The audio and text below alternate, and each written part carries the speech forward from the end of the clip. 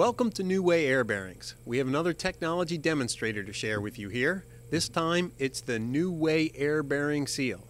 It uses our proprietary porous media air bearing technology and it's meant to protect bearings in hostile environments from both wet and dry contamination. So, uh, oil and gas industry, say salt manufacturing, coal processing, uh, the steel industry, cement industry, places where the bearings really needed to be protected from the nasty environments. So you can see the air bearing seal bolts up to this housing, which is meant to be like the bulkhead or the, the gearbox or the housing that would be containing the bearing that needs to be protected. It mounts a lot like a bearing isolator mounts, uh, but you'll see it's in a completely different class because of the external pressurization. Back here we have another block. This block is containing a three inch diameter air bushing. So this is a black housing because our imperial sizes are black and our metric sizes are blue.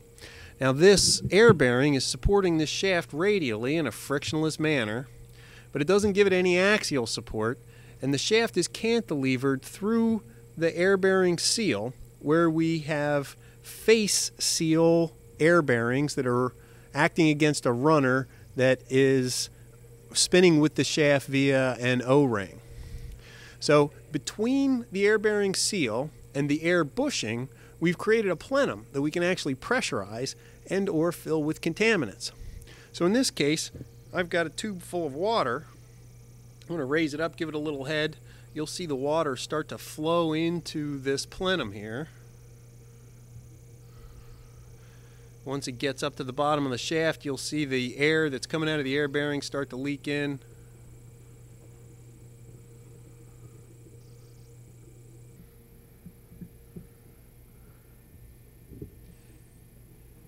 So the plenum continues to fill with water. You can see that the water level is above the top dead center of the shaft. The shaft is still spinning freely. There's absolutely no leak out of either side. So I'm going to turn off the valve that allowed the water to come in so that we can create pressure inside of here. Now you can see some of the air bubbles escaping, most of them from the bushing side. So they're flowing into this plenum. So as I choke off the vent and turn that off, you'll see this pressure gauge start to rise. Shaft is still spinning freely. There we've got two bar. The shaft is still free and we've got two bar 30 psi air pressure inside of this plenum and there's absolutely no liquid coming out of either end of this.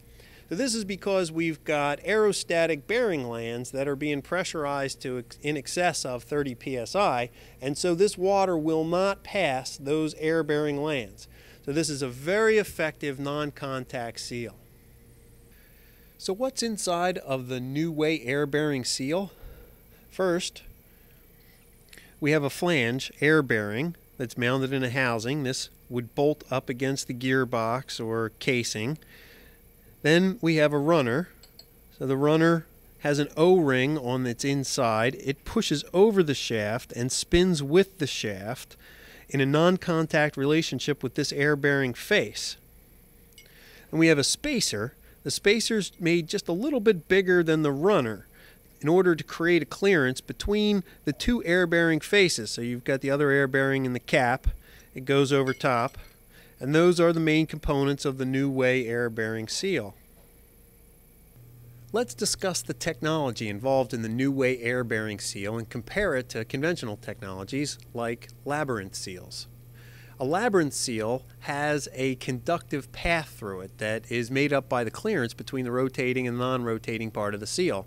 So if you have a pressure difference on one side to the other side of the seal, there will be a flow through that gap, no matter how tortuous it is. Some labyrinth seals also try to employ hydrodynamic seals in order to create a better seal or at least to keep the two halves of the seal from touching each other.